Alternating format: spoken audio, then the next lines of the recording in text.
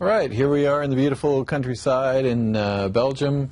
Uh, we're talking today about this uh, a very unique uh, device uh, recently created and uh, its capability of resonating various different frequencies into these plasma tubes.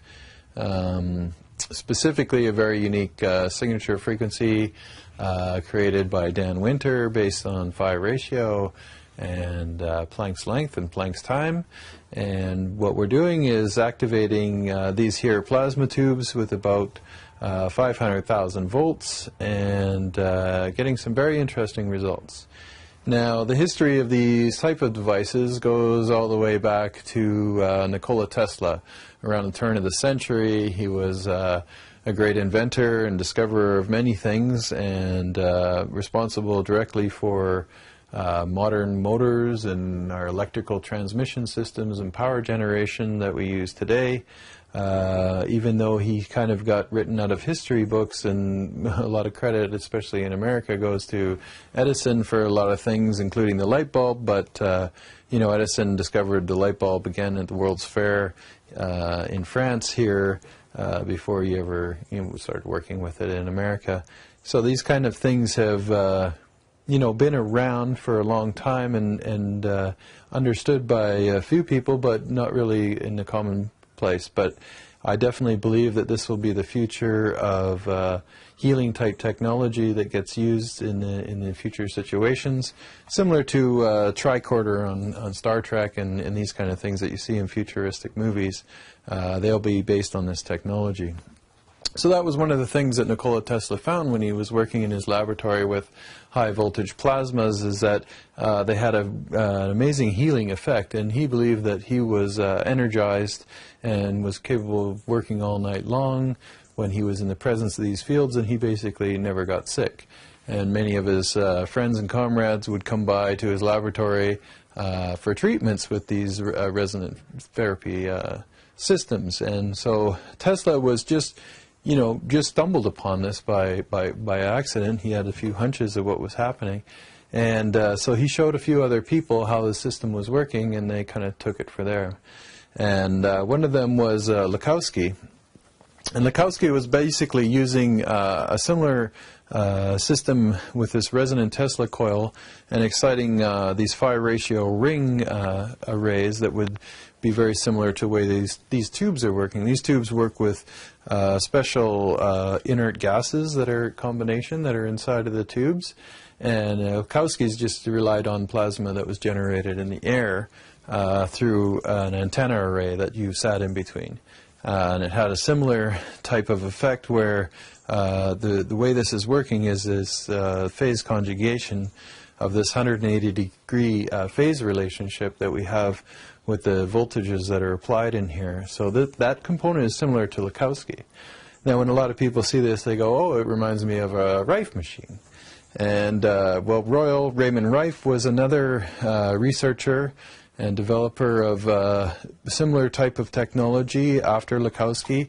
He's the one who first uh, started working with the noble gases and the tubes, and particularly with X-ray tubes. And he actually had a very advanced laboratory. He was a brilliant uh, machinist, and he developed a microscope that was capable of seeing uh, beyond the theoretical minimum wavelengths of light.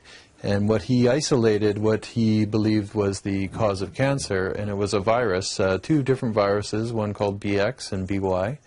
And he would actually inject his rats, laboratory rats, with uh, with these viruses and grow tumors within them and he'd grow a tumor equal in weight to the rat, and then he would uh, do a, uh, an operation to remove the tumor, and then he would treat the rat with his electromedical device.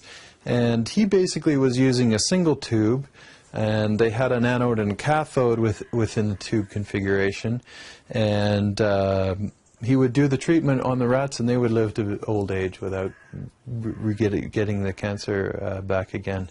So he had quite a bit of success with that, and uh, announcements were made. Um, the group of medical doctors at the time had given him 13 terminally ill cancer patients, which he uh, he had cured all of them with his device, and Uh, then mysteriously, uh, you know, his machines sort of got uh, his name got run into the ground, and people chased his machines around and, and confiscated them, and uh, they were not out there in the world. So.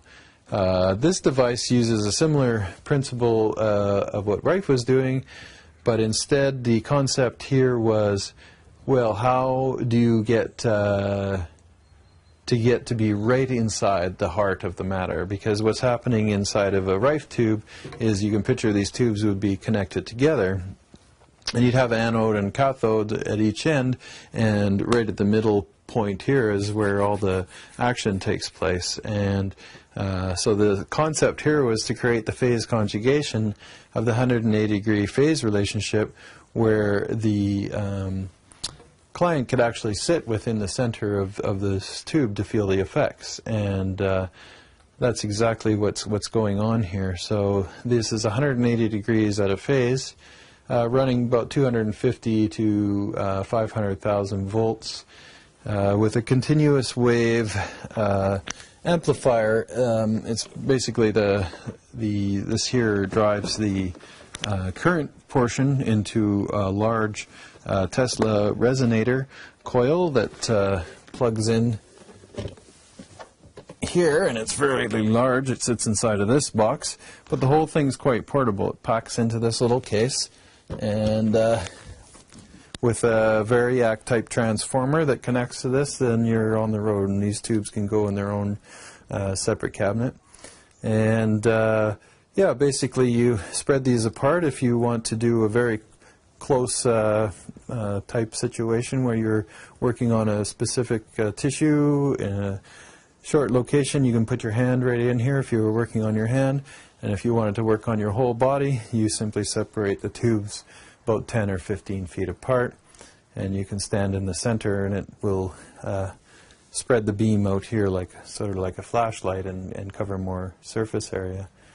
And uh, yeah, so we've had quite a interesting testimonials from many of the volunteers who uh, who are willing to uh, try it out and it's been a very productive unit uh, right now. So this is the first prototype and we're very happy to announce that we'll be uh, producing more of these and have them available uh, real soon.